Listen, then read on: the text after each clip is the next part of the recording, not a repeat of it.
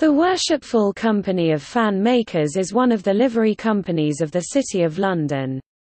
The company was incorporated by a royal charter in 1709. As fan making is now done by machines rather than by craftsmen, the company is no longer a trade association for fan makers. Instead, the company functions as a charitable establishment.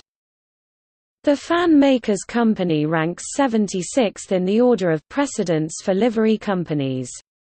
Its motto is Arts and Trade United.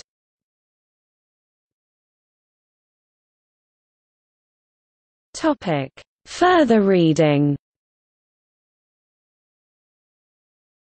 Fans of the Livery, an exhibition of fans from the Worshipful Company of Fan Makers. London, The Worshipful Company of Fan Makers, 2016. ISBN 1526203715.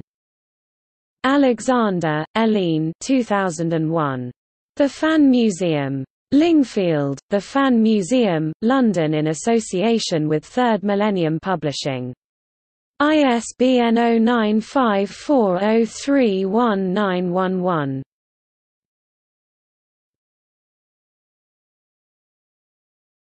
Topic: External links. Official website